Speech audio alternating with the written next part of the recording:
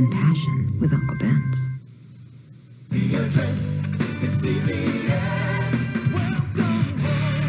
Why are the CMAs on CBS going to be the best ever? Two words. Garth Brooks. All your favorite stars come together for one incredible night. If you have a dream, you can make it come true. Vince Gill hosts the Country Music Association Awards, CBS Wednesday.